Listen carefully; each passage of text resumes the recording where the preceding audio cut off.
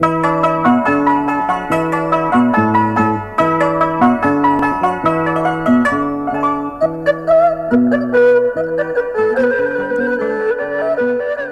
迎收看《大话成语》，我是小段段彦希。今天讲这个成语叫做“李代桃僵”，出自于乐府诗集《鸡鸣》一篇。说南北朝时候，乐府诗很兴盛，在乐府诗集里面有一篇叫做《鸡鸣》，讲的是汉朝的时候啊，有一个怪现象，就有一群人不知怎么地，他就有钱了，发财了。然后不知怎么地，他就犯罪被砍头了，就这么一个怪现象。那其中呢，就有兄弟五人，他们原本身份很卑微呀，穷困潦倒啊，家徒四壁呀，这吃也不知道下一顿在哪里，身上穿的破破烂烂。但是有一天，老天爷给机会了，兄弟中有一个人给皇上当了侍卫，就是这么一个人当侍卫啊，其他人都沾光。兄弟五人全都发财了，有钱了，就一暴发户啊！这一有钱不得了，这房子也换了，给他装上这个特大特高的门。你说人也没长多高，装这门要干嘛呢？就为了炫富嘛。这门呢，漆上这红色的油漆，看起来就喜气洋洋的。房子里面更不得了啊，这屋顶上铺上琉璃瓦。这白天看起来这一反射，哇，金光闪闪。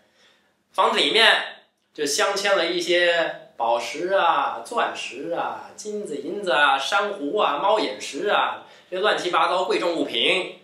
那到了晚上，不点蜡烛都灯火通明，为什么？大概还镶了夜明珠呢。你说这么亮怎么睡觉啊？就戴着眼罩睡吧，弄得那么麻烦。反正有钱嘛。就有一点开着冷气、穿着厚外套那种意思。咱兄弟五人过着富裕的生活。说这一天，兄弟中其中一人犯罪，这犯罪得砍头啊！他说兄弟五人嘛，听到自己兄弟犯罪了，就赶紧的跑吧。你说怎么不救他呀？他们几个呀，听到这兄弟犯罪，都怕影响自己的既得利益。冲击自己的地位，就赶快划清界限，说我不认识他，我跟他不熟啊，他我们不是亲生的，连这种话都讲出来了。哎，到了鸡鸣的最后一篇，就引用了一首民谣。这民谣是这么写的：桃在路井上，李树在桃旁，重来灭桃根，李树带桃僵，树木深相待。兄弟还相望，什么意思啊？就是说，在路井旁有一棵桃树，这桃树长得多好啊，桃花开得很漂亮。但是有一天，有一只虫要来咬这桃根，这虫上身上带着感染病，有细菌，这一感染这桃树，桃树就得死啊。李树在旁边看到了，他一想，哎呀，我不行，让我这桃树兄弟死于非命啊！就把这根伸了过去，这虫一咬这李树的根，李树就死了。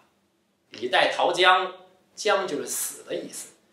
你说树木都有这种替人受罪的情谊，兄弟之间却荡然无存呐。这首民谣也是在讽刺这兄弟五人的冷漠心肠。后来“李代桃僵”这个成语就这么流传下来，它的意思是。原本指兄弟互相扶持、互相帮助，到后来引申为替人受过、代人受罪的意思。好，今天大话成语就到此结束，我们下回再见。